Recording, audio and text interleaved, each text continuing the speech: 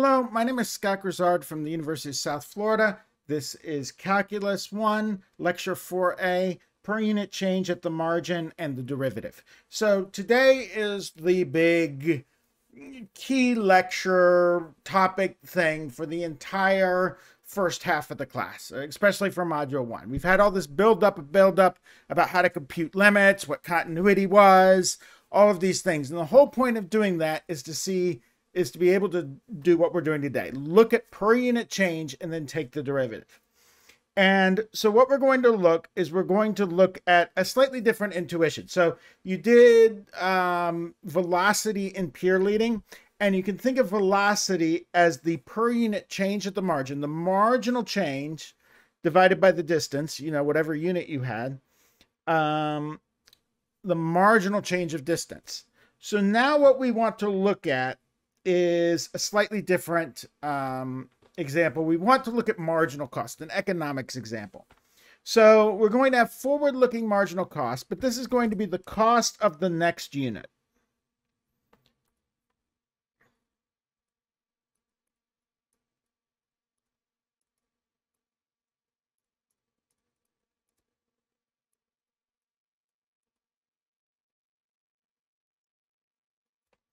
Okay. And this is section 2.1 and 2.2 in the book, by the way. Um, and then we're going to go through, so, and we're going to stick with this marginal cost. We're going to do a whole bunch of examples, and we're going to spend most of the time sitting in Excel playing with marginal cost. Okay. Then what we're going to do is we're going to do a few more examples, and then we're going to start seeing how the derivative can fail, or something can fail to be differentiable. And our canonical example will be the absolute value, but there will be others. So when we look at our marginal cost curves, we're going to see some things that can fail. But there are five, and then we'll do some notations and things like that, and higher derivatives that are important, but not the main part of the story. There's five huge ideas being conveyed here. Um, and in the peer leading packet last week, last Friday, and in the packets this week, there are five huge ideas.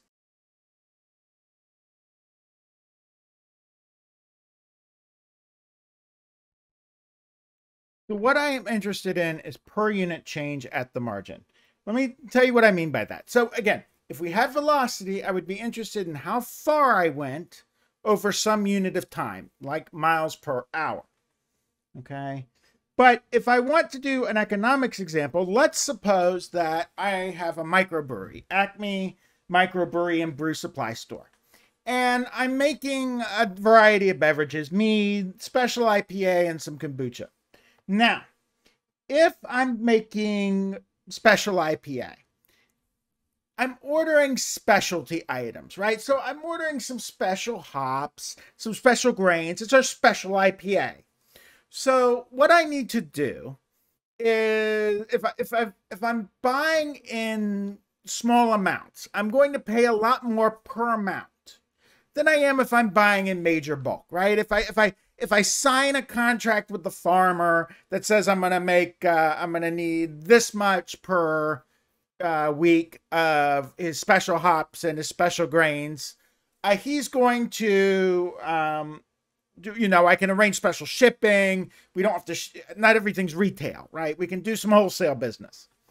So things are going to get cheaper as I buy more. That's the idea.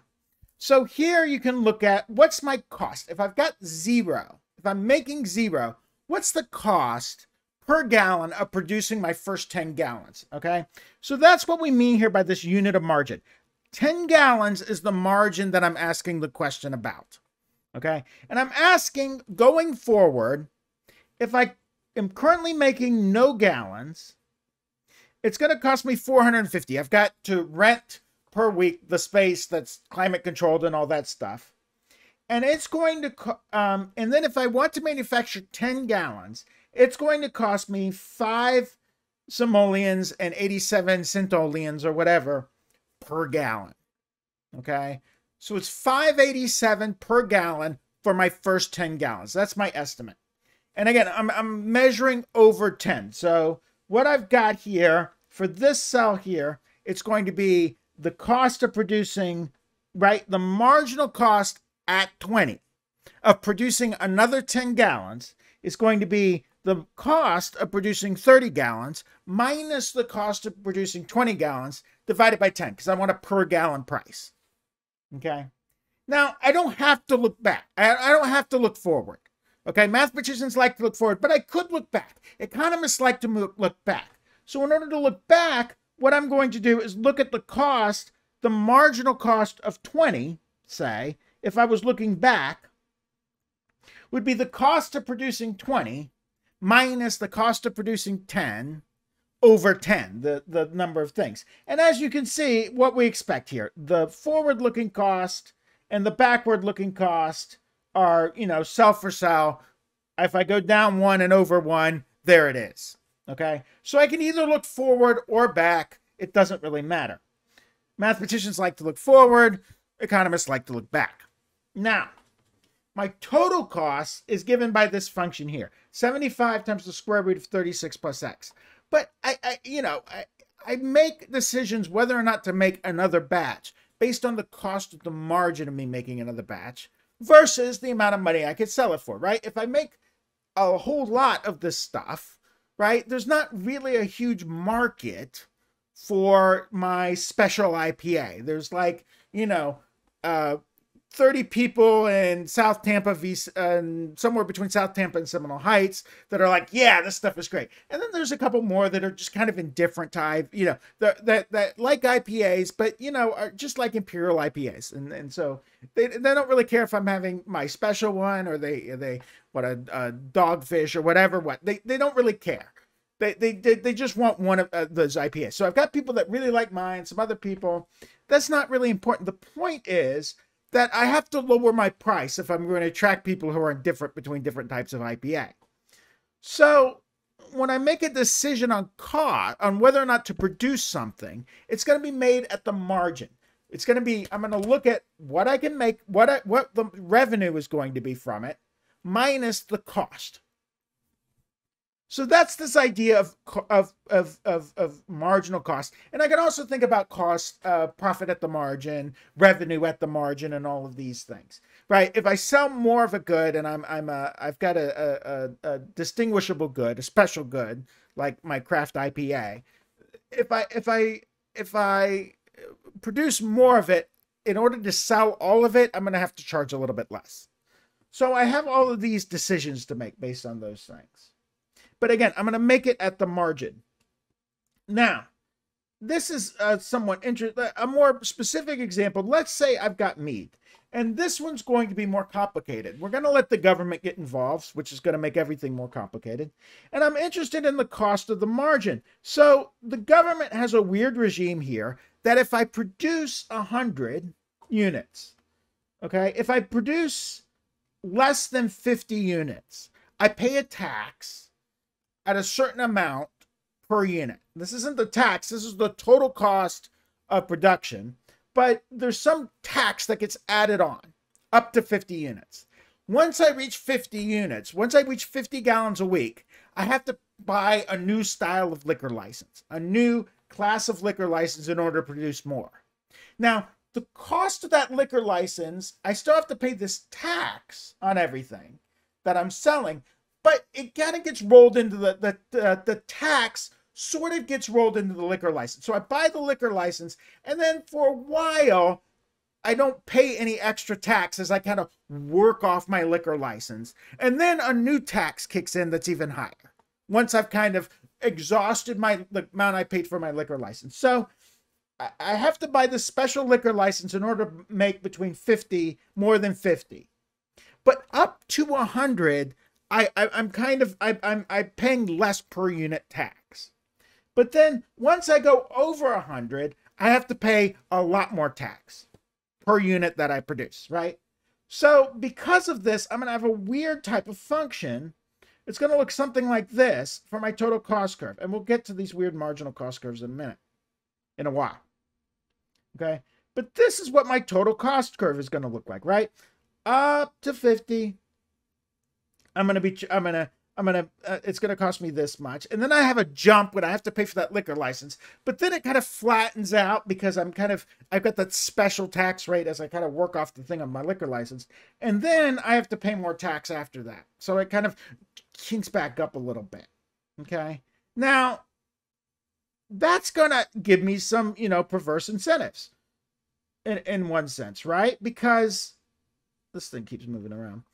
It's going to encourage me. See, in order to go from 40 to 50, there's a huge jump in cost because I have to pay for that liquor license. So at the margin, I may choose not, you know, I may stop and stay under 50 gallons a week of mead production and just sell to a few people so I don't have to pay for this huge liquor license, which has this huge cost. If I'm only producing 30, if I'm only producing 40, I, I don't want to pay for this huge liquor license if I'm only going to produce 50 or 60. I want to pay for this this huge liquor license if I'm going to produce a lot more. Okay? So that's the idea. I'm making decisions based at the margin. Okay? That's the first thing. The marginal cost or or whatever the change of the margin is is the thing I'm interested in. Okay.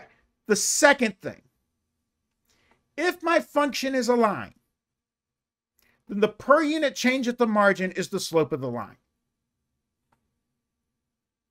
Okay, so let's look at this. In my microbrewery, I'm making mead, I'm making special IPA, but I'm also making kombucha. Now, kombucha is very simple to make. You take a jar, a cheesecloth, you pour a little, you pour some black tea, you pour some, you put some sugar in there, and you put some distilled water, and then you toss in your SCOBY, your your your bacterial thing, that ferments the kombucha. Okay. Now, kombucha eh, will just, eh, once you put the SCOBY in, it just makes itself. You, you take black tea, distilled water, and sugar, and let it sit for two weeks in this thing. You take your, you know, you take your SCOBY out every, uh, you take your SCOBY out after a week, you know, test strips. You don't have to use a test strip, I suppose, to get your pH. But it is sugar, tea, and distilled water. Okay just hanging out. And sugar and tea and distilled water are not specialty items. The margin that people are making, uh, uh, the margin, the the difference between wholesale and retail, there is some difference. And of course, everyone wants to tell their specialty tea. But if you're buying generic black tea, it's not really, really, really that much cheaper to buy in bulk. If you go to a restaurant supply store, you can buy black tea that, you know, will last you for four weeks, and you're going to be paying a pretty good wholesale price for it. Okay. So that's the idea here. I've got it, it, it, it, same thing with sugar. I go to a restaurant supply store, I buy a month's worth of sugar for making kombucha, and I'm paying about what everybody else is paying for sugar. Um, it doesn't really matter how much I buy. That's the idea. And of course, at the extremes, that makes that's kind of silly. But you know, when I'm when I'm considering between zero and 200 unit, 200 gallons a week production, uh, there's really no change in the price of the ingredients. I need the same amount of tea, water, and sugar to to make the to make the 40th unit as I do to make the 60th unit as I do to make the first unit. Okay. Um, and it always costs me the same amount of money. So that's the idea here between this this this idea that I've got my total cost curve is just a line. Okay. It cost me $15 to make kombucha per gallon. Period. End of story. Right. So that's the idea here. The the so let me give you an example. Suppose I want to compute the cost at the margin of producing going from 20 to 30 uh, gallons of kombucha. Okay. So what I'm going to do is I'm going to compute two things. I'm going to have the uh, let's see, we're going to let H, the margin of kombucha. All right, we're going to let H be 10. So, uh, example. Let margin H equal 10. And we're going to go from 20 to 30. Okay, so the marginal cost of producing the next 10 gallons per gallon is going to be the following. So I'm going to have MC H is 10 from the right because I'm going up of 20 is going to equal the total cost of producing uh, 20 plus 10, x plus 10, x plus h, minus the total cost of producing 20 all over 10, because 10 is my unit of margin. So now what I'm going to get is when I do this little bit of math, I'm going to get, I'm going to sub in my formula. So this is 15 x plus h plus 250 minus 15 times x plus 250 all over h. And in this case, it's going to be 20 plus 10, 20, 10. Okay, so there's my formula for figuring out the marginal cost when h equals 10 and x equals 20.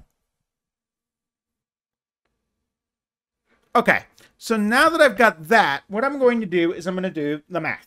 So I'm going to get 15 times 20 plus 15 times 10 plus 250 minus, don't forget to distribute the negative, 15, I almost wanted to write 16, 15 times 20 minus 250. Don't forget to distribute the negative all over 10. Okay, so now stuff is going to cancel. That 15 times 20 cancels with that 15 times 20. That 250 cancels with that 250. And I am left with 15 times 10 all over 10. Well, those two are going to, those two 10s are going to cancel. And I'm just left with 15. So it's going to cost me if I, if I, if I'm at, if I'm currently producing 20 and I want to estimate what it would cost per gallon for the next 10 gallons, I'm going to get 15. Okay. And indeed, I'm always going to get 15. So let's look at why. MCH plus of x equals the total cost of x plus h minus the total cost of x all over h. So my margin is h. So now what I'm going to do is I'm just going to plug in. So I'm going to get 15 times x plus h plus 250. That's TC of x plus h. So it's the total cost of x plus h minus 15x plus 250 all over h. And then look at what happens. Well, the same thing that happened before. I'm going to get 15x plus 15h plus 250 minus 15x minus 250 because I distributed my negative all over h. The 15x's cancel. The 250s cancel.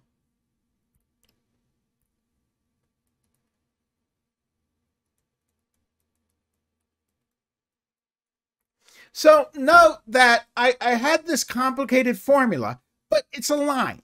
Okay, so when I did this whole thing, I wound up with the slope of the line. This line's slope is 15.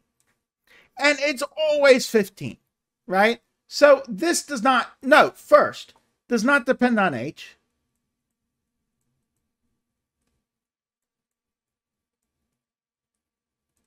And since this is a line,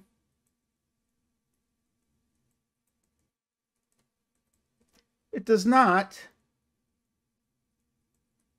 even depend on x. Okay, the slope here is 15.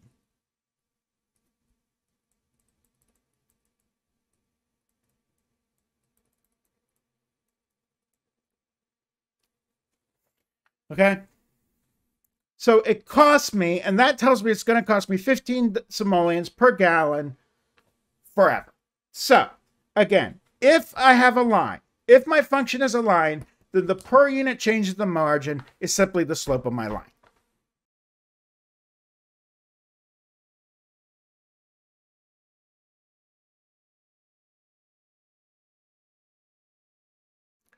Okay, my next big idea is that if I zoom in close enough, every smooth function starts to look like a line.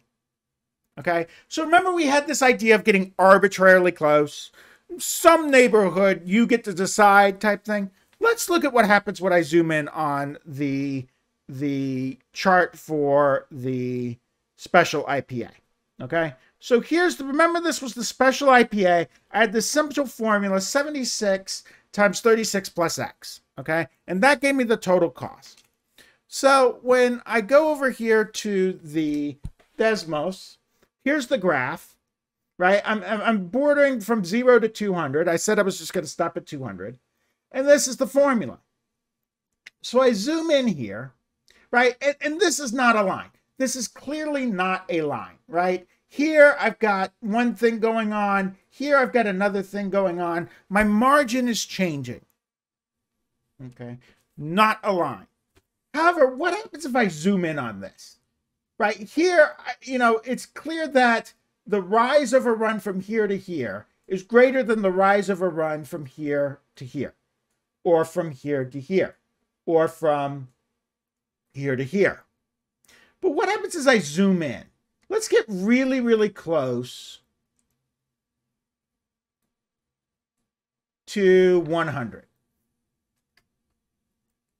Okay, so let's zoom in closer and closer and closer to 100. Around x equals 100. Now, look at what's going on here. If I zoom in far enough, around 100, this starts to look like a line. Uh, let, us zoom out again. Let's go over to 20.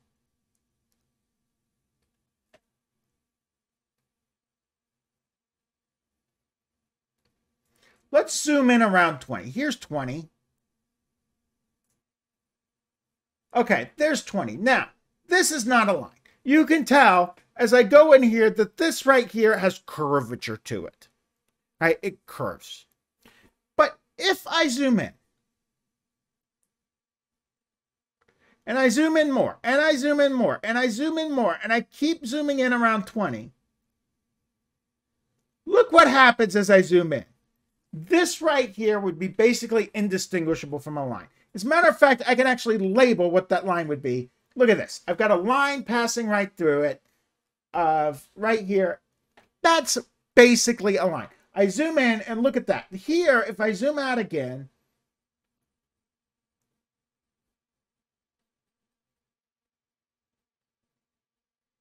I didn't need to zoom in this much, did I?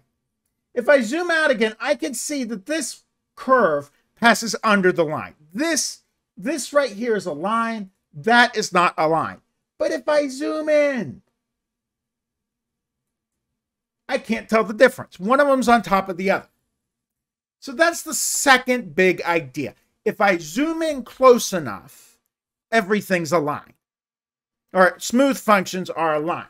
Now let's look at something that's not smooth to compare it to. So again, I had this idea of Mead having a different formula. Mead was more complicated because of this weird tax situation that was going on with Mead. And it won't let me just move around easily, will it? Mead had this weird tax uh, situation going on, which meant that the formula was much more complicated. It, it, it's I worked out what the formula would be so I could do it easy math, but it's got a lot of if statements, right? But so let's look at the formula for the Mead. Okay.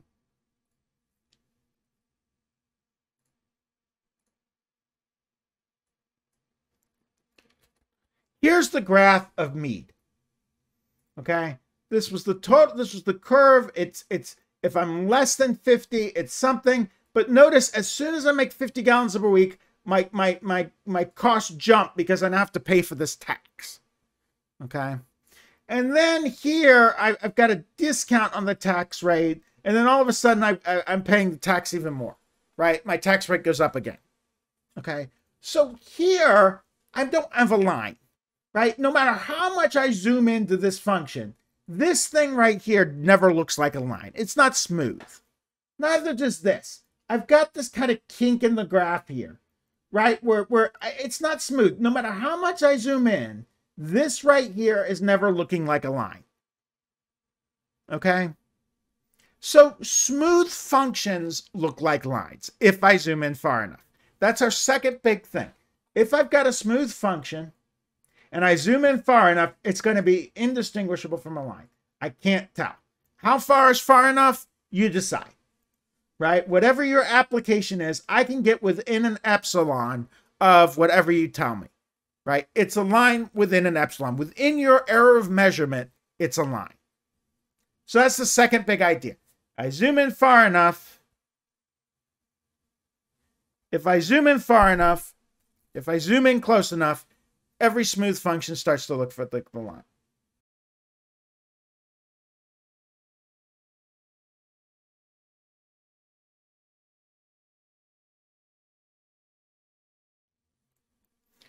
Fourth major thing, okay?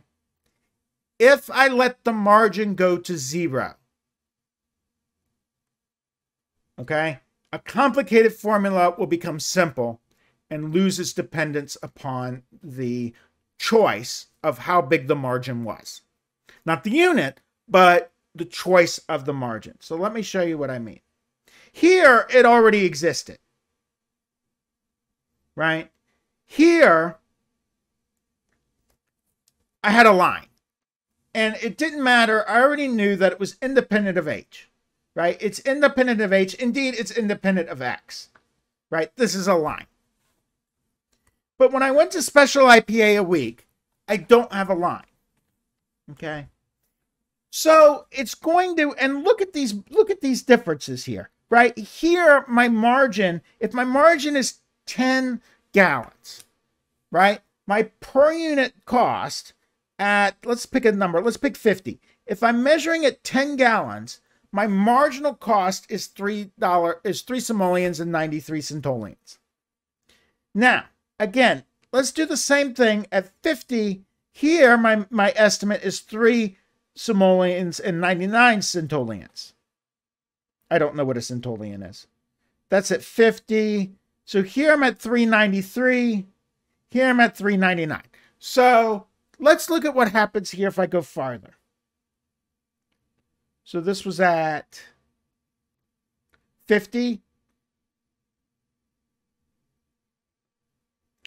So if I go down here and I estimate per gallon, I'm using per gallon as my estimator, it's 4 simoleon and 3 centollion.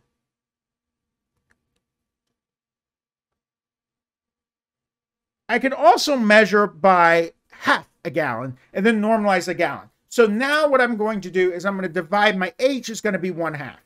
Okay, so I need to multiply by two, which is the same thing as dividing by one half to normalize to one unit of measure. So now when I do it, I'm going to get a different number. I'm going to get five. Oh, we want 40. I'm sorry.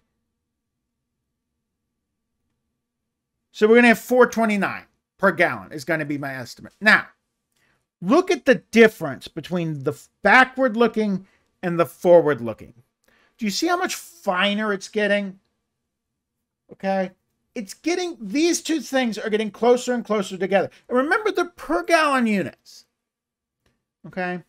So here, what would happen if I could take it even smaller? Here was at 0.5. Right here, Contrast that with the 1 and contrast that with the 10. Here they're pretty far apart.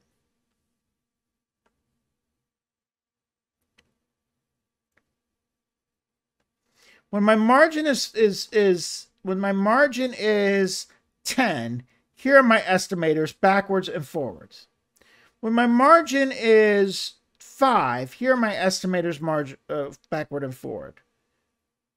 When my margin is 1, here are my estimators backward and forward. So they're getting closer and closer together. Okay, that's interesting. What would happen if I took the limit as h went to 0? All right, I've got this huge complicated formula. If I want to compute the, the, the marginal change, estimate my marginal change, this, this formula is complicated right? I want the the the 75 times the square root of 36 plus x plus, times plus x plus h all under the square root minus 75 times 36 plus x all over h. That's ugh. But watch what happens if I take this limit equal to take this limit to zero. Something very cool happens.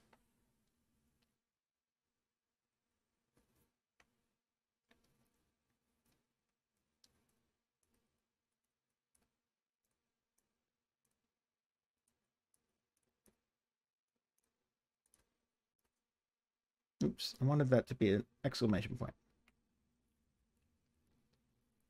Okay, so let's take the margin to zero. So let's have the limit. I'm going to do the right side. As h goes to zero from the right of the marginal cost, I'm sorry, of the, the yeah, the marginal cost of h plus. The right hand looking at h plus of x. Okay, so that is going to equal the limit as h goes to 0 of the total cost of x plus h minus the total cost of x all over h. Okay, so let's put that in here. So that is going to be the limit as h goes to 0 of 75 square root of 36 plus x plus h minus 75 times the quantity 36 plus x all over h. Okay. Now, I can't take h to 0 yet. Because notice what happens if I do. This thing would become zero. This, I'm sorry, this thing would become that thing. So the whole top would go to zero. The bottom would go to zero. I have unhappiness. And there should be a plus there. Okay. So instead of that, let's take the, let's do a little math here the first thing I could pull out is that 75. It's unpleasant. That could come across the limit and just hang out in front. I'm going to go ahead and do that.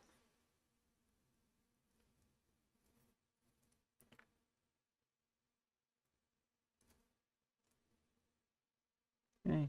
And what I'm going to have left is the limit as h goes to 0 plus square root of 36 plus x plus h. The parentheses are redundant minus 75, in this case, I, I already factored out the 75, minus the square root of 36 plus x all over h.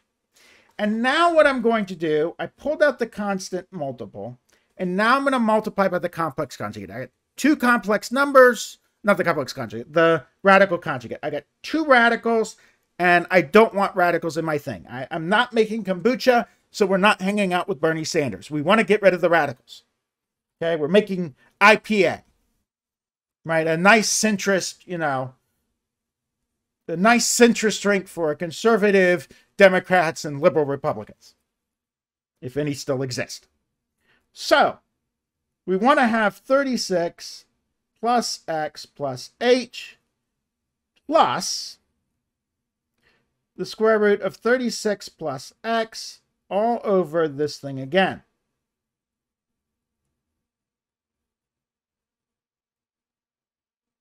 So I multiplied by the by the radical conjugate. I've got a minus here, so I did a plus. And let's see what happens here. So I've still got my 75 hanging out. The CML, by the way, refers to the fact that I pulled it out, not that I multiplied by the complex conjugate.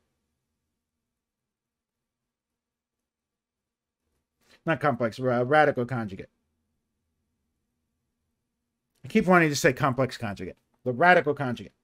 Okay, so now I've got the limit as h goes to 0 plus I'm going to multiply these two things together. I'm going to leave the bottom, right? Because uh, the top is the thing I'm trying to get rid of the radicals in. So I'm going to leave the bottom like it is. I'm going to leave it with an h and these two things unmultiplied. So what I'm going to have is I'm going to have an h on the bottom with all of this baggage.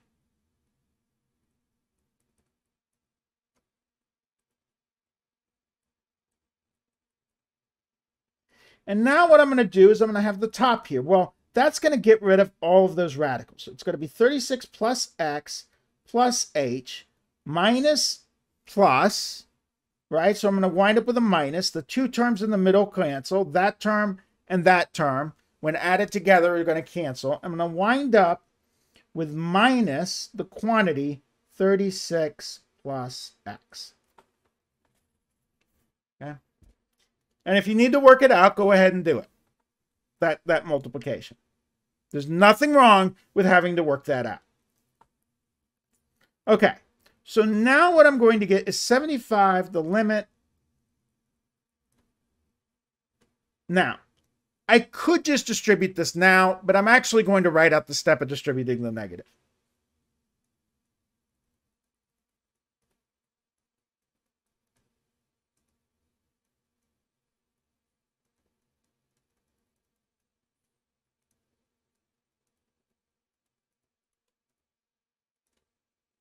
Okay, so now I have that all worked out. Now I'm going to cancel the stuff on the top. So the 36s are going to cancel and go to 0. And the x's are going to cancel to go to 0. I'm going to have an h. And look at that. Because I didn't multiply it out, I've still got my h sitting on the bottom, all nice and happy. Now, I am not going to do two types of cancellation in the same step. That's a big warning. Just don't do it, right? I'm, I'm actually going to write that here with a big red pencil, with red here. Do not do, it's kind of, it's not really powerful enough. Let's try that again.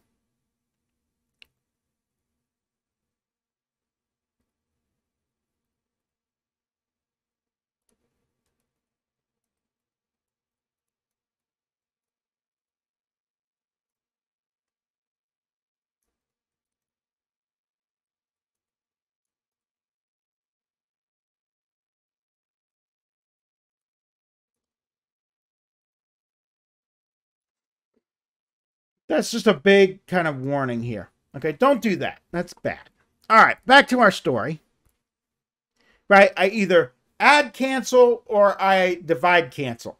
So don't do, you know, add and divide cancel in the same step because you can make algebra mistakes very easily that way. Okay, so now I've done this. I'm going to have 75 times the limit as h goes to 0 from the right of h over h times this whole bit.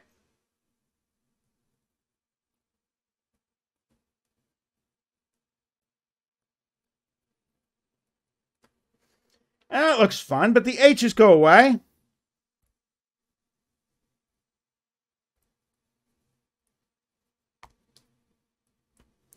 And I've got a 1 now on the top. Now, now if I take the h to 0, it's not gonna i'm not gonna have a zero over zero situation. I take the h over to zero that becomes a zero this becomes a two whatever's in the in the radical on the bottom. Okay? And my 75 is just hanging out. So let's do that. I'm going to take 75 now what i'm going to do is i'm going to directly substitute in the limit. And i'm going to get this 1 over the square root of 36 plus x plus 0 plus 36 plus 0. Again, it, it, it, you can put 0 right over there, but it's not necessary, right? I'm not looking, this thing is not 1 over some sort of 0. It's just, you know, 1 over, oops, that shouldn't be a 0. That should be an x. It's not 1 over some type of 0. I'm just subbing in a 0, but I'm going to get a whole number. So I don't need to worry about the, the plus or the minus. So that is going to be 75 over 2, right? This is 36 plus x. And that's it. So this right here is my marginal cost.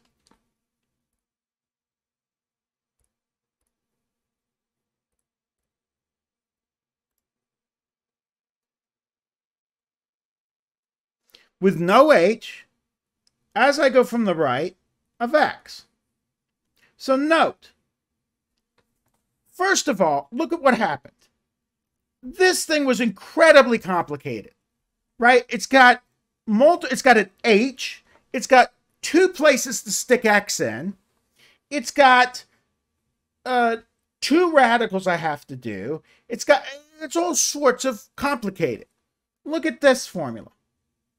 75 over 2 times the radical 36 plus x. It's not the happiest uh, hunky-dory formula going around, but it's still much nicer, right? This I can actually play with. Okay, it, this is a much nicer formula, right? It's not, ugh, and it doesn't depend on H. So I get a nicer formula, not depending on H. It still depends on X, okay? But it no longer depends on H, and it's simple. This right here is the miracle of the derivative, okay? I have taken this complicated formula and it becomes something simple, right? And it becomes something I can use. Now, let's look at this little formula in a little more depth. Oops. So here you shouldn't put you shouldn't put by the way derivatives. This is the derivative. I gave it away. You shouldn't put derivatives, by the way, on the same graph, um, because the I know the book does it. It's it's it's wrong. Okay. So what I'm going to do is I'm going to create a different graph, and I'm going to put my my derivative of this thing on there.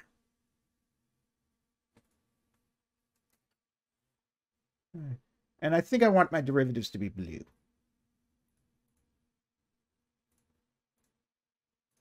Okay. So now I have this idea, the, the kind of instantaneous or the best estimate of the margin, or I let the margin go to zero. This instantaneous change, or this marginal change period. The change at the margin is now a pretty formula, not depending on H. And it's, you know, that's a formula I can work with. I can do numbers with it. So let's see if I want to make this prettier.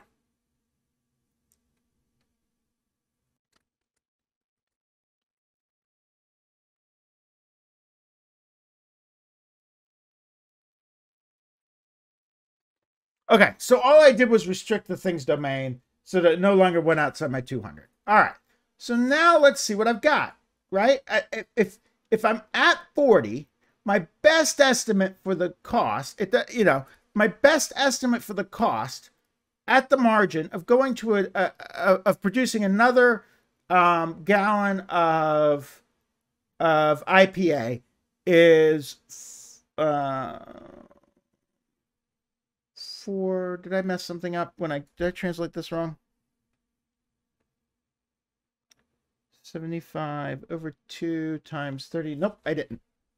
Uh, so that is my best guess at the margin of the cost of producing, if I'm already producing 40, the next unit of IPA. And we look at this again.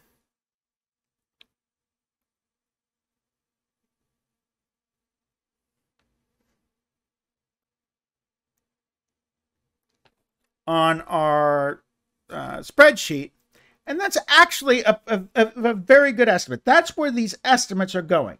So again, if I'm at 40, my estimate based on my function is 4.29 or 4.3. And there's 4.29 and 4.32. So on one side, I've got something coming down, eh, you know, that that best guess is between those two numbers, and that's just beautiful. And I didn't have to do a complicated formula. Once I simplified the formula by taking the limit, I had a formula that, you know, computed faster and was just nicer. So that's the idea. That's the miracle of the derivative. I take the the this complicated formula, right? I take it to instantaneous or best guess of margin or let the margin go to zero. And I come up with something simpler. I went from complex to simpler by doing something, you know, difficult by taking this limit. That's just, to me, that's beautiful. Okay. The next thing I want to get at is that the derivative at x equals a, this miracle of the derivative, this instantaneous margin, right? So, if I take the margin to zero, I get something.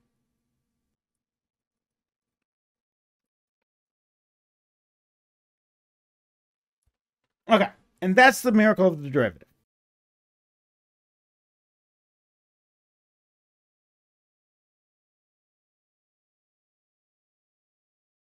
Now, the next big thing, point number five, the derivative at x equals a is the slope of the line tangent to the graph at a f of a. In other words, remember when we zoomed in until the line that was right near it was just on top of our function? Okay. That's what we mean by the derivative is the slope of the line tangent. Okay. So let's look at it again from the same graph. So here, here's our graph again, our special IPA. Now, if I come here to this point that I was playing with earlier, 20, 20 with the Y value 561. That's my total cost here. Now, I want to know what this change at the margin is. And what it is, is again, if I make a line, it is the slope of this line, the line tangent to the graph. Okay. At 20. A equals 20, this right here is the line tangent to the graph. The slope, the derivative is the slope of this line. Okay. Again, this is the line that I would have super locally. Okay. So super locally, my function, my smooth function, my smooth cost function is, for all intents and purposes, this line. Right? That was the first point. And now the slope of this line is what we call the derivative. So if I input 20 into my original cost function, I get 561.24 simoleons or 25 simoleons. But if I go to my marginal curve and I do 20, right? I get a number 5.011. Okay. That 5.011 is the slope of that line. Okay. Let me say that again. The output of the derivative, right? The, the derivative of A, MC of A, is the slope of that line of the line tangent to the total cost curve. Okay. And that's the big, it's the local slope at this curve. And we're going to play with that again in the problem set this week. Okay. That's the very big thing. Okay. So we've talked about our five big things. They are again, okay, let's just say what this is again. We're interested in pre-unit change at the margin. If our function is a line, then the per unit change at the margin is the slope of the line. If I zoom in close enough, everything looks like a line. If I let the margin go to zero, a complicated will be, formula will become simple. That's the miracle of the derivative. And then the derivative at x equals a is the slope of the line tangent to the thing. So again, one more time looking at that. Let's say here I've got a tangent line generator for this graph. Okay. So here I am at 20, but let's look at what happens if I move away from 20. So now you can see the slope of this line changes as I move away from 20. The green line here, the, the, the purple is my point. And as I move here, the slope of the line changes. The slope of the line tangent to the graph at that point changes as I move the point, right? So when A is 155, that's the line. That is my estimator, my linear estimator for this function. That's the line that it's close enough for all government work. Okay. Then as I move this way here, right, the, the slope of this line is going to get smaller. So right now the slope is really steep. And as I go to the right, right, right now the slope is getting steep, but the slopes are decreasing. Here, here the slopes are decreasing. Now, if I look at the graph of the thing, notice that the value of, of the graph, the value of the derivative, the value of the marginal cost is decreasing. Okay, and that's key here. This tells me the slope, right? 3.482 is the slope of the line tangent to this graph at 80. Okay. Now let's talk about um, let's talk about just some more examples of the computations. Okay, so let's write out the formula. So let's do a big definition. Definition. Let f be a function defined on the interval d. Yeah. If, and let a and d.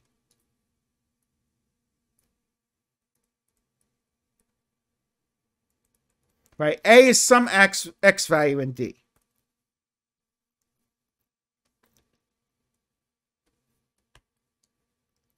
F, the derivative from the right of x. It's written f prime of x equals the limit as h goes to 0 from the right of f of x plus h minus f of x all over h. f prime from the left of x equals the limit as h goes to 0 from the left of f of x plus h minus f of x all over h. If both exist and I didn't do what A was, so who cares about that? If both exist and the derivative from the left, I'm sorry, the derivative from the right equals the derivative of the, from the left, then f prime of x equals the limit as h goes to 0 of f of x plus h minus f of x all over h. And f is differentiable at x. Okay, now, what's important from this definition is the following. So when it asks you to state the definition of the derivative, that's what it's looking for, right there. Okay, that's the big thing it's looking for. f prime of x equals the limit as h goes to 0 of f of x plus h minus f of x all over h. But just like limits, there exist derivatives from the left and the derivatives from the right. And those are actually kind of interesting because things can fail to be differentiable. Okay? I should say if both exist and are finite. That's actually key too.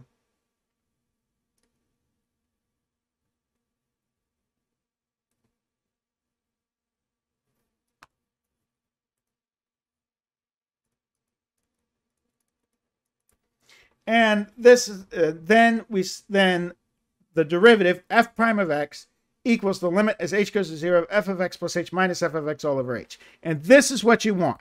When it says state the derivative, you don't want all this preamble. This is all you want.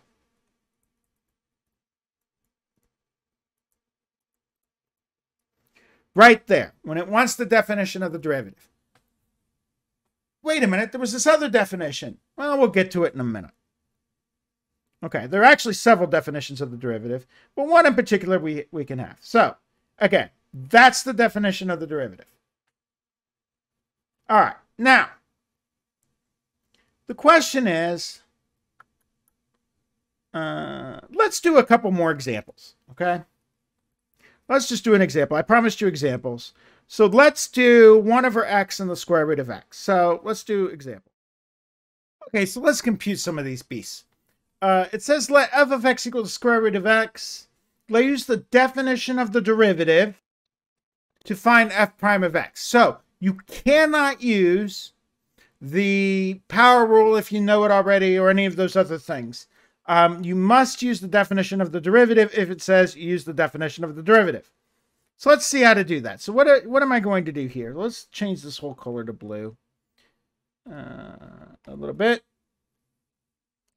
And then let's, uh, so what is it we want to show? We don't really know what we want, but our strategy is going to be use the H definition of the derivative so what we're going to do is we're going to use the H definition of the derivative and some limit laws. So let's look at that. All right, so I've got f prime of x equals the limit as h goes to 0 of f of x plus h minus f of x all over h. f of x here happens to be the square root of x. So that equals the limit as h goes to 0 of the square root of x plus h minus the square root of x all over h. Okay, so what I've got to do here is I'm going to multiply by the conjugate. And so I'm going to multiply by the square root of x plus h plus the square root of x all over the square root of x plus h plus the square root of x. And what I wind up with here is the limit as h goes to 0 of x plus h. Those two terms, minus that term plus that term, they cancel. Minus x all over h times the quantity x plus h under the root plus square root of x. So the, th the x's on the top will cancel. Goodbye, goodbye.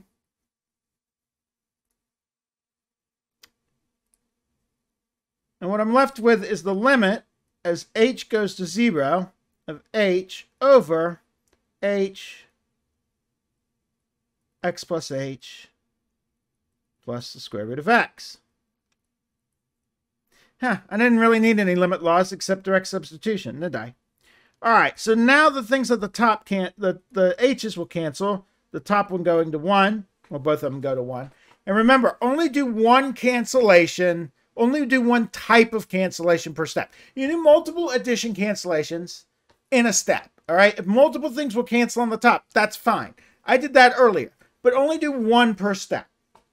Only do one type per step, right? Don't mix a multiplication, an addition one with a multiplication. Okay.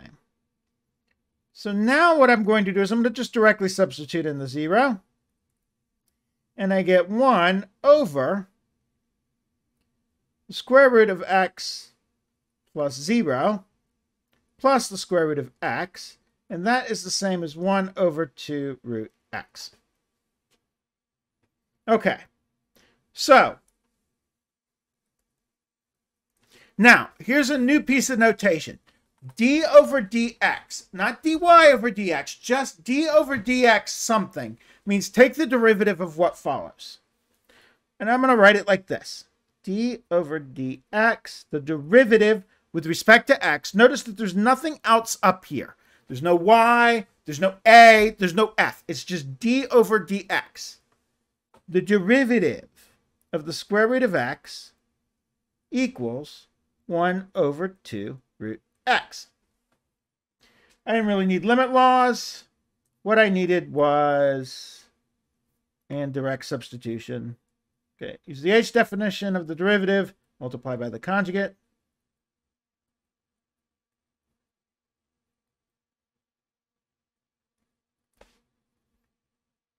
Okay, and then directly substitute on what remains.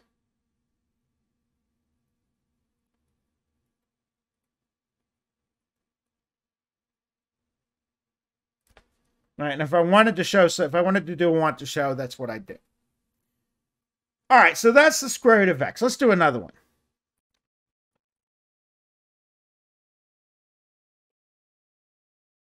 So this one right here says, using the definition of the derivative, find the derivative of 1 over x. The derivative with respect to x of 1 over x. Okay, so how am I going to do that? Well, the first thing is I want to find f prime of x if f of x equals 1 over x. My strategy, use the h definition of the derivative. Okay, I keep saying h definition of the derivative. There are others. Um, one of them I'm going to show you shortly is equivalent to the other one.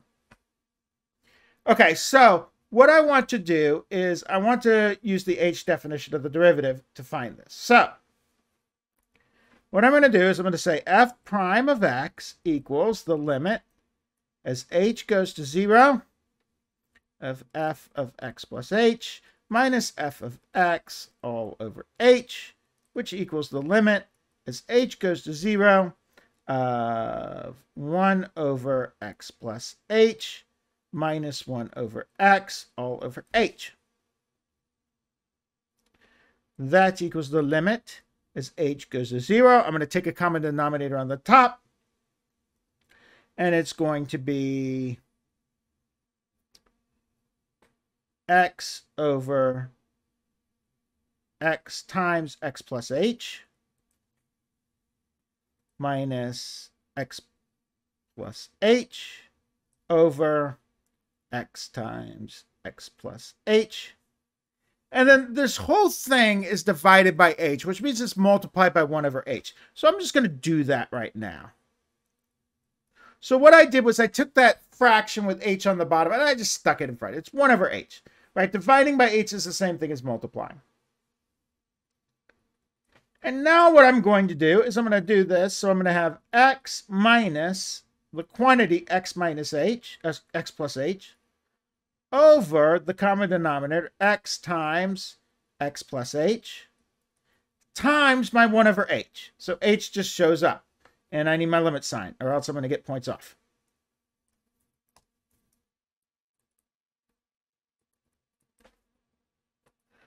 All right, now that I've done that, notice what's going to happen when I distribute this. This right here is going to be x minus x plus h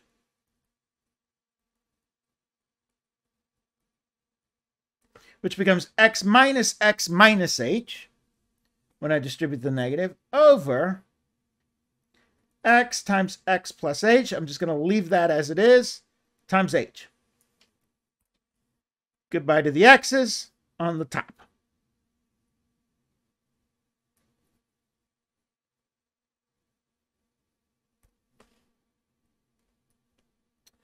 Limit as h goes to 0 of negative h. Now notice that there's an h in here. I'm just going to move it to the front. Okay, and those h's are going to go.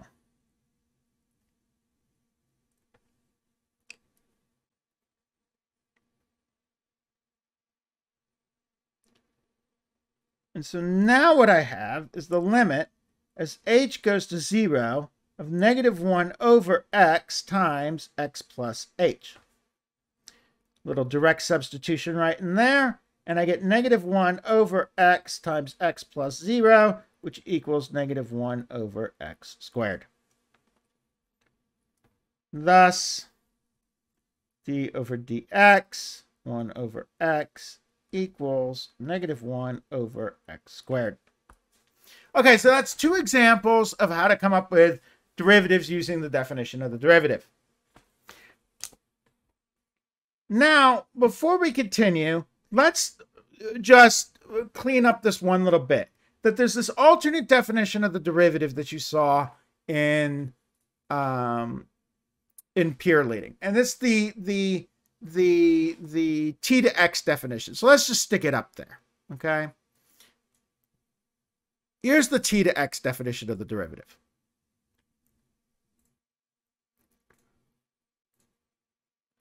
And the t to x definition is equivalent. Okay. And here's why. Okay. So here's the t to x definition. And you may use this. It works in a lot of situations. Like if we went back up to where we had the the square root of x, you would have had pretty simple math to use this. Same thing if you wanted to do 1 over x or x squared. All of those derivatives are easy to find using the t using the x to t definition as well. Um, they're perfectly equivalent. And notice it doesn't matter which one comes first, x or t, as long as the one comes on top of the other. All right, so either one of these definitions is perfectly legal. Um, and again, if I wanted to use the the um, uh, use the t to x. So I could have used this one as well. They're absolutely equivalent definitions. Um, and here's how I do it. I would have uh, the derivative with respect to x of the square root of x equals the limit as t goes to x of f of x minus, I already know what f of x is, so I'm going to do the square root of x minus the square root of t all over x minus t. And it's the exact same thing I did before, except the, there's a little bit less drama in the math. And here's what I'm going to get. So, I mean, I, I multiplied by the conjugate before. So what I'll do is I'll factor the bottom. So the square root of x minus the square root of t all over the square root of x minus the square root of t times the square root of x plus the square root of t. And I went over that in, in, in class in the quiz review. Uh, when you have the, the the x minus t, this is the square root of x squared minus the square root of t squared. So I could do a difference of squares on it. And that's kind of nice because it cancels out those. And I'm left with a little direct substitution action. I'm just going to stick the t in for x, and I wind up with 1 over the square root of x plus the square root of x, which is the same thing as 1 over 2 root x, which is the exact same thing we got before. Um, so either definition works for these. The problem is that when you do the cubes and things like that, you're gonna want the x to h definition because you don't want to remember the difference of cubes formulas and all those formulas. It's much easier to just use the binomial theorem and punch those out. Or if you have to multiply them out, it's much easier to multiply them out than it is to factor them. Okay, so just to let you know, you you you can use it. You probably shouldn't. Um, you know, it is nicer for 1 over x.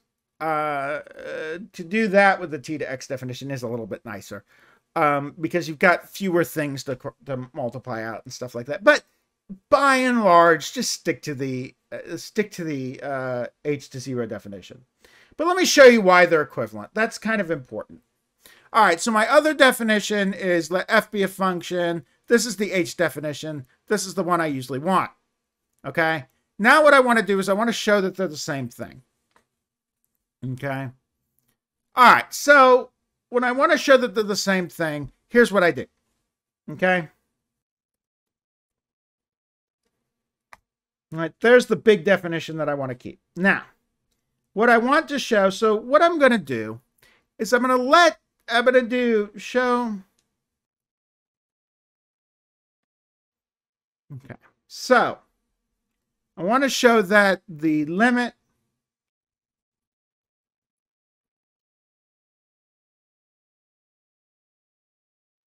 I want to show those two things are equivalent. So that double arrow means equivalence. Okay, these two definitions are equivalent. All right, so what I'm going to do is I'm going to start here. And I'm going to let t equal, um, I'm sorry, I'm going to let h equal t minus x, right? Because this is t minus x, here's h. So I'm just going to let those two be the same thing. Know, let h equal that. Now, if I do that, look what look what x plus h equals, right? So if I do that, then x plus h equals t. So what I have is the limit as t goes to x of f of t minus f of x all over t minus x. And notice also as t goes to x, h, which equals t minus x, goes to 0. Okay. So now what I've got equals the limit as h goes to 0 of f. Now, I had, I'm sorry, this is f of t, not f of x. All right, so now I have f of t. f of t right here is going to equal x plus h. And I've still got the minus f of x hanging around. And then on the bottom, I'm going to have a uh, h, t minus x equals h. So all I've done is I've flipped these things signs and it just pops out. They're exactly equivalent. H here is the margin.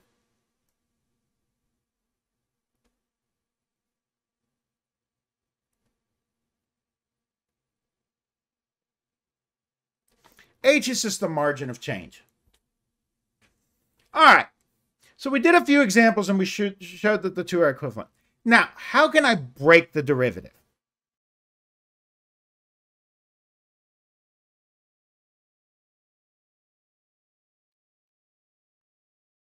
Let's take a moment to look at where derivatives can fail or where I don't have a derivative. So let's look again at this um, mead production problem where I had the well, this mead cost problem where I had a, a tax regime where I had to purchase a liquor license here, so I had a jump discontinuity. But then I got a discount on my taxes for a while until I get to this point where then my taxes went back up. Okay, so I have here I have a jump, and here I have kind of like a kink in a hose. Okay, so the the it, it's coming in, but then there's a sharp little it's called a corner or a kink. Now they, these are going to be two problems area and problem areas. So let's see why. Let's go back to our our our, our uh, spreadsheet here, and you'll notice that I've xed out a bunch of this. So I've done the math in advance so that we can just move through this quickly. But let's look at these problems. The first problem was that x equals 50. So look what happens here as I go from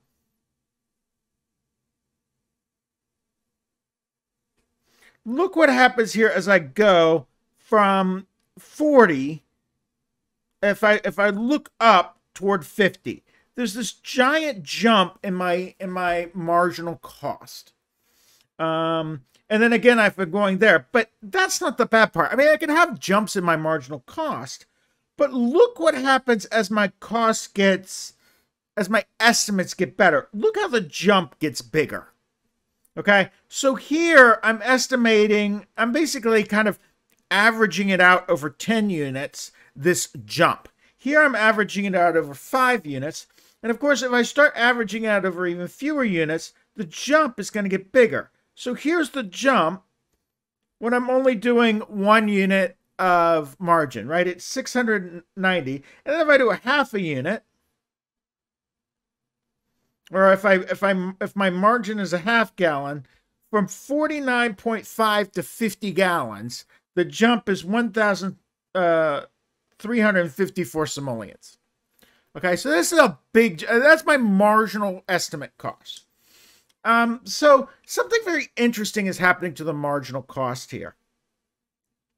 And if so, let's look at this forward looking marginal cost. So this this I'm sorry, this backward looking marginal cost. So here we are right here. We're at 50.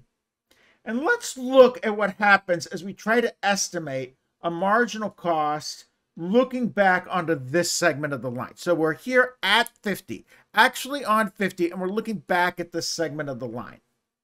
So the marginal cost that we're going to want to look at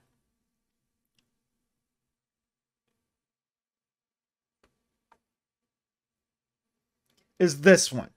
And I can ditch. Remember that I can, I can make h when I when I go to the the the the derivative. I'm making h, you know, infinitesimally small. I can make h small enough to get rid of a bunch of these marginal cost cases, right? If I've got three total cost cases, I'm going to wind up with six cases for each marginal cost because I have to talk about uh, how, how what happens when you cross these change points. Um, but if I can make the ch those changes arbitrarily small, I can actually get rid of all of the forward-looking ones, right? Because if I'm here, I can always make it small enough to be on the same line. If I'm here, I can always make it small enough to be on the same line. And note that this point right here, the, the, the, the function is continuous at x equals 100. It changes the, the, the piecewise, but that's okay because the left piecewise equals the right piecewise at 100. So here my function is actually continuous. So I can fudge around anything. So I can choose to use, if I'm sitting here, I could choose to go up to here. And if I'm sitting here at 100, I could choose to use this equation if I'm, at, if I'm on this side. And I could choose to use this equation if I'm on this side. So if I'm at 100, I can, I can change which side I'm using um, which is going to get us in trouble later, but that's not really what we're concerned with here. Right now, we're concerned about this jump, and I can't do that. If I'm looking back from 50, there's only one equation to look back to, and it's the one that defines this piece of the segment. This segment, or segment of the function, or piece of the function. Okay, so let's look at what happens there. That's this special case, right? The marginal cost when I go to 50 is this equation here. And just as a quick note, um, right here, I'm using a negative. The, the, the function makes my h negative when it goes through. As you can see, I've got a negative h here instead of a plus h. That means that what I'm looking for is h to the right. So don't let that confuse you when you go through this. So when I go through this, I'm going to do a little computation. And the interesting thing is here on the top, I don't have a problem just simply subbing in uh, with an infinitesimal. I could just toss in the infinitesimal because this right here is not going to go to zero. In fact, it's going to go to a positive number here. I'm going to wind up with, when I'm done, I'm going to wind up with 2900 minus 1000 root 5, which is some positive number, right? Because 1000 times 2.2 is less than 2900, significantly less. So I've got some positive number over 0 plus. This thing right here is going to infinity. And if you look on the graph, you can see that. Here's the graph. And if I if I get this closer and closer here, the line is going to go straight through infinity. And there's nothing I can do about it. So there, I'm going to say the derivative from the, uh, I'm going to say that the derivative doesn't exist. It went infinite and the derivative doesn't exist. Now, the derivative from the right actually does exist right? Because if I'm standing on here, but I'm coming from this direction, that's fine. Okay, that's a finite number. But the derivative from the left won't exist, or it'll be an infinite. Okay. Now, let's talk about this. I said before it was continuous. So, right here, I can actually use two different equations to deal with this. At, at 100, when I'm standing on 100, if I'm looking forward, I'm going to use the, the equation for this segment. If I'm standing back, if I'm looking back, I'm going to look at the equation for this segment. And that's going to get us into trouble right here. Because I'm going to use the different equations for, for the left and the right. This is the one I'll use for the left. This is the one I'll use for the right. Don't try and copy all this math down. It's just uh, all this stuff down. It's the big concept you need to get, you need to worry about. Don't worry about the forest. Don't worry about the trees. Worry about the forest. Okay. And I'll post this spreadsheet so that you can go through my numbers if you so desire. Um, and if you do, well, uh, uh, I would see a psychiatrist about masochism problems. Okay, anyway, it's kinky, right? You you won't have a derivative on you because you know you've got masochism problems. Anyway, notice here that when I do this, the left and the right derivatives, the left and the right marginal costs are not equal. 3 does not equal 5 over 6 this week. Those are not equal, and therefore the derivative from the left does not equal the derivative from the right.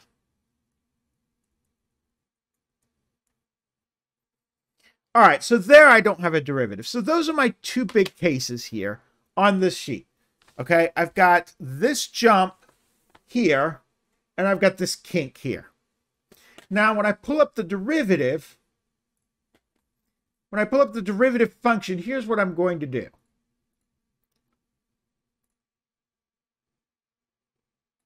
My derivative here, and, and notice that I'm leaving the filled circles in on the endpoints. You can have them be filled. You can go, no, it doesn't exist because there is no derivative from the left here, and there is no derivative from the right here. It's kind of like continuity, right? if you don't have it defined, you just kind of use the endpoint and you only say, oh, it's just the derivative from the left and the derivative from the right. So you can define the derivative on a closed interval. Of course, a lot of people who don't have better things to do with their time, they're logically equivalent. You just say which one you're going to do, and then you don't run into contradictions doing it. Okay.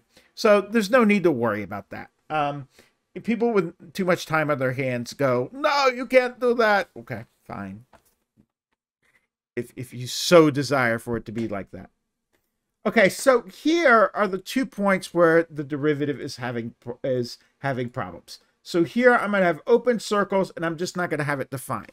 Now, jumps can be interesting because jumps, notice that in my in my original function, both of these things, I mean, uh, one of these things was a jump. So if I had a jump here, I had a jump in my derivative. And here where I had a kink, I had a jump in the derivative. It turns out that only kinks require jumps. You can have a function with a with a jump in the original function with nothing but a hole in the derivative. And that's a little weird. Okay? I can have a hole in the derivative and be perfectly fine with I could have a hole in it where I don't have a jump in here, but I had a jump in my original function. Um, so just heads up, you can do that. Uh, but here I've got two jumps caused by a jump and a kink. Okay, so those are places where the derivative fails, and you can play with this if you want to. I'll leave the uh, links for the, if you want to play with the Desmos, I'll leave the links to the particular Desmos in the description below so that you can play with it. Um, but you can play, this is the left side mar uh, derivative so you can see that it's defined, it's not defined here because it went infinite, but it is defined, I'm sorry, the right side. I think it's the right side. Yes, this would be the right side. No, looking left, the right side derivative. So forward derivative, there we go. Uh, the looking forward derivative, here it's defined, here it's defined.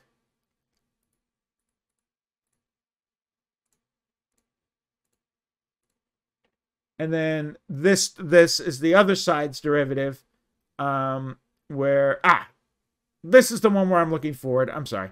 This is the forward looking one. I promise i'll get better. This is the rearward looking one. Um and the you can play with this if you want to and see where the one is defined and where the other isn't. Okay. So those are kind of the ideas of two types of things where the derivative can fail. If I have a jump and if I have a um, kink. So let's go back. Now, recall that continuity was an atheistic white boy. Nothing holy, nothing infinite in the middle, can't jump. The derivative is a prudish atheistic white boy. It doesn't like kink. It's also nothing holy, nothing infinite, can't jump, but it hates kink. So you'll never find, you know, the derivative, maybe not even really an occasional spanking. It's very meat and potatoes. Okay. There are other ways. So I, I, I, derivatives fail, right? Here's like a jump discontinuity. and you don't have a derivative. Incidentally, you can have just a um, a discontinuity with a hole with a with a jump that only gives you a hole in the derivative. And I mentioned that before. So something like this, where I had x squared go here, and then I did x squared after something. It's still x squared, but it's now x squared plus 3 or something like that. It winds up with a hole in the derivative. So just heads up, those things can happen.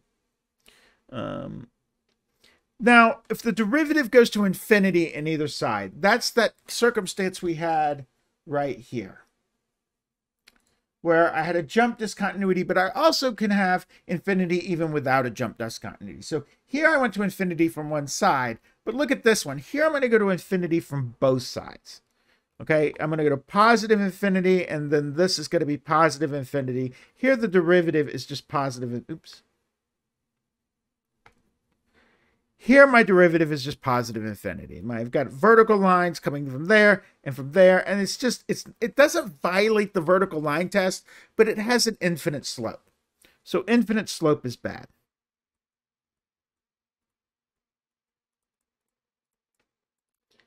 And part of this is to be there are other definitions of the of the derivative that we want to be compatible with the one we have beyond just the x to t one that we already did. And that's why I have this rule. So if you're wondering, well, what's wrong with having a derivative of infinity? It's because I want to define this line as a function um, when I do different definitions. And when we play with the chain rule, we might see one of those. I don't like an extra or something like that. Um, so just remember infinite slope is bad. And this is the example of the kink. Now, we had a kink that wasn't very extreme. It was just a little kink, but it was enough of a kink. Here I've got, and they're all enough of a kink. If you have a kink, that's what a kink is. Here we've got the canonical example, the absolute value of x. On one side, it's negative, it's x if x is greater than or equal to zero. And again, I multiply the negative number by negative one to make it positive. So here I've got negative x, here I've got negative x, here I've got positive x. Here the derivative will be negative one, here the derivative will be positive one, and it has a kink at zero. So as you can see, f prime left at negative 1 is uh, at, at 0 is negative 1. f prime of 0 right is 1. And the derivative from the left does not equal the derivative from the right. So again, derivative is an atheistic, prudish white boy.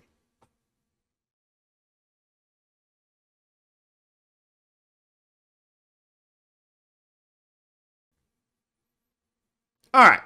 So that's it for places where it can fail let's look at some notations. There are different notations for the derivative, okay? And it's not, you know, this department uses, uh, you know, it's not that this field uses this particular notation for the derivative and this one uses a different one. The integral is like that. The integral only has really two notations left, and the only people using the weird non-standard format are me and the people at the uh, pharmacokinetics that you're going to have to do if you go to medical school. Okay. They're the only people that still use the other uh, notation for the integral. The derivative, however, has a ton of notations.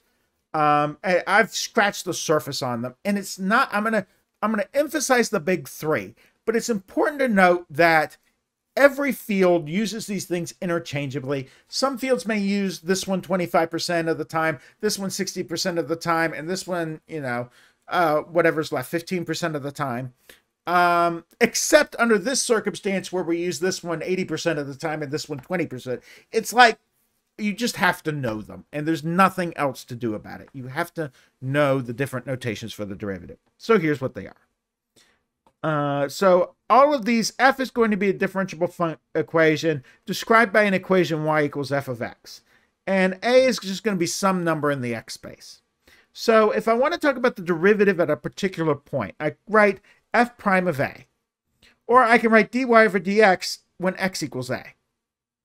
Right? This is a specific one. Or I can write y prime when x equals a. I hate this one.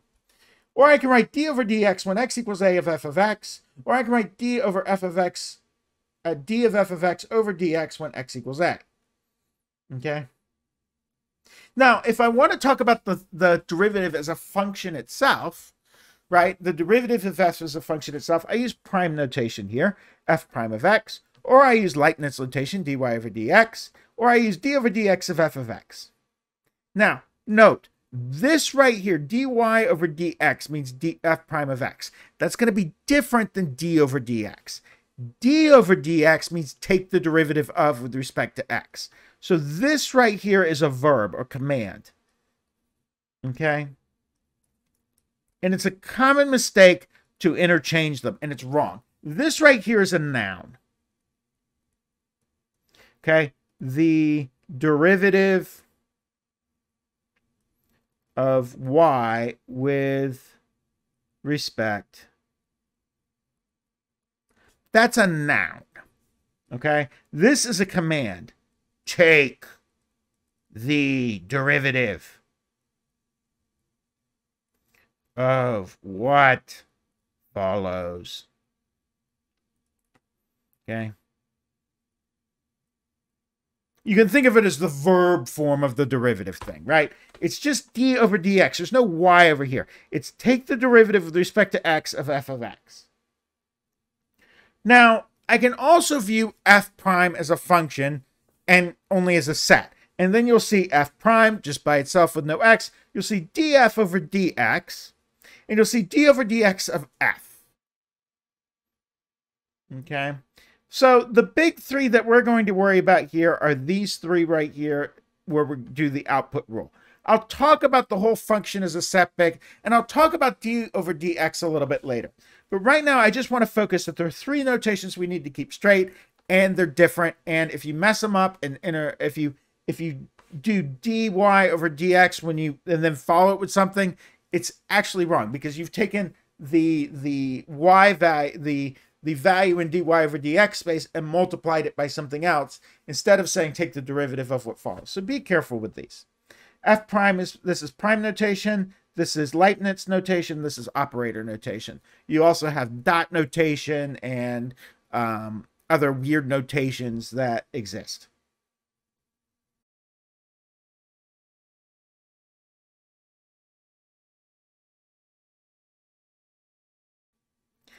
Finally, we need to talk about taking higher derivatives. So I can take derivatives of derivatives. So this is what that means. f double prime of x equals the derivative with respect to x of f prime of x. So I just take the derivative again. So for my example, if f of x equals x squared, f prime of x equals 2x, f double prime of x, I take the derivative of this, I get 2. And then this weird 3 thing says take the third derivative. This is the third derivative of f, and in this case it would equal 0. The other ways to show that are with these little exponents. So when I say d squared over dx squared, I don't actually mean something squared. I mean two derivatives of whatever follows. So take the derivative once and then take it again. Right? I can actually view this as this. Take the derivative after taking the derivative of f of x. And because these look like they're multiplied together, even though they're not, because they look like they're multiplied together, we write that d squared over dx squared. And that's just because we hate you. So you know. The notation is a language, and it's got some irregular verbs, and this is one of them. Okay, f, the 3 here is to say to take the third derivatives. Note that this is different than f to the 3. This is f to the 3 in parentheses means take the third derivative. That means take the derivative of the second derivative, or take three derivatives of the first of f, or take two derivatives of the derivative of f. And then again, this is the third derivative of y with respect to x, which is the third derivative of f of x, which is take the third derivative of f of x. Okay, so it was a long lecture this evening, uh, today. It's now this evening. I started it when it was bright and sunny out. Um, this is it for the material of test one. Everything above this point here, everything above is what's on test one. Everything that we're going to do for now, the next time what we're going to do is prove the power rule. Technically, that's test two material, but it helps you with test one to understand how to do the proof. You can't use the power rule but if you understand the proof, it's going to help you with a particular question on the test. Okay, so that's it for me this evening.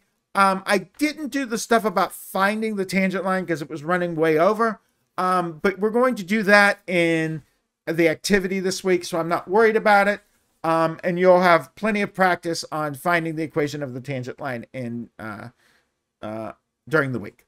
So I will see you all in class.